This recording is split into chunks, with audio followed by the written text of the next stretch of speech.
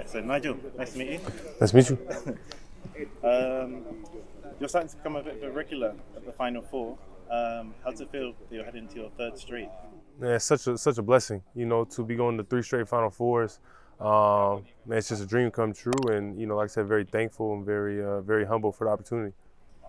And it's not just in the EuroLeague where you've obviously got to experience Final Four, also NCAA Yep. with Gonzaga. Um, that's obviously one huge event on one side of the ocean. This is a huge event on the other. What similarities and differences do you see between the two?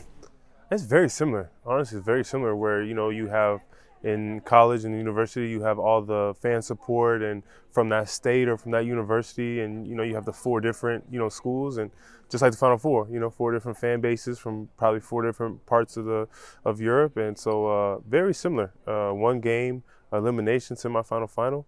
Uh, so I would say there's definitely a lot more uh, similarities and differences.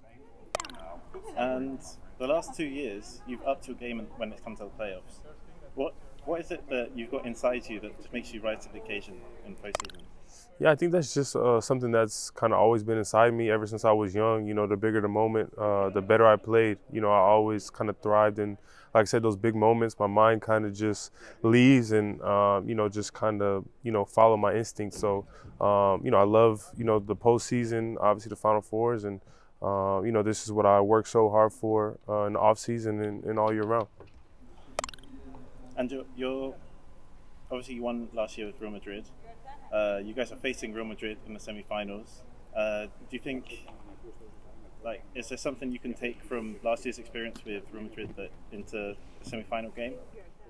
Uh, I mean, I think you know, just being like you said to two Final Fours already. Obviously, just having that experience and kind of understanding, you know, what it is and um, how it's you know very different. You know, the the regular season's over, playoffs are over, and it's its own own entity. So I definitely think my experience will help, um, as well as you know the rest of the team's experience. Obviously, they've been in the last two as well, coach, um, and the rest of the team. So um, I think we have a very experienced group, and you know, kind of know knows what it takes to, to get it done.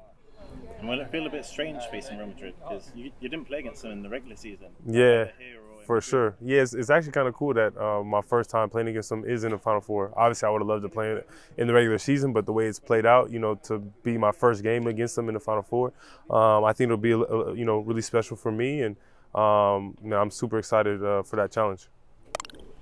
And what would you say that uh, some, like, what makes a successful team? Because obviously you, you keep going to the final. Yeah. right? um, I think first it starts with sacrifice. You know, uh, you can't get to the Final Four if guys are, you know, have different agendas or kind of only worried about themselves. Like you gotta put the team before yourselves. And I think, uh, you know, especially here, they've built a great culture. Coach done a great job bringing in um, guys that are all about the team. Um, and I think that's the biggest thing, you know, in this profession with, you know, with contracts and, uh, you know, uh, guys, you know, when there's there's money involved and people are on their own, you know, career paths, it's kind of hard to get that that buy-in. Um, so, coach has done, like I said, a great job building that culture here, and um, I think sacrifice is the number one ingredient um, to, you know, have a championship level team. And a couple of years ago, uh, you got to taste the final four for the first time, but lasted 52 seconds. Um, did you, you? Does that experience uh, still motivate you today? Yeah, for sure. I mean, uh, that was you know extremely tough. Being so excited to play in my first Final Four, and then like you said, to get hurt the first possession, um, and then to lose by one point in the final, and obviously you know having that feeling that if I would have played, you know, who knows what you know could have been different, um, and to potentially have already went back to back. You know what I mean? So um, you know I think about it, but again, it's just um, all part of my journey and still was grateful for that experience, you know, just like I was for last year. So um, I still think about it for sure, but um, you know, like I said, just just one one part of the journey. And I don't know if you know this, but you could become the fourth player in EuroLeague, modern EuroLeague history to become a champion with two different teams in back-to-back years. Hmm. So uh, you got Dejan Bodiroga, Saras Yasin Mhm. and Ramunas Siskauskas. So, do you think we'll be adding Nigel Williams Goss? Man, I, I hope so. You know, my uh, my entire career since I started playing this game has been built on on winning. You know, I've always just uh, played to win, and I've uh, you know been very fortunate to be on you know some some very good teams and have won a lot in my career. So uh, I definitely think you know the winning DNA is inside me, and uh, you know I would love to be you know added to that to that list with those great players. And obviously, you're heading into your um, third straight Final Four.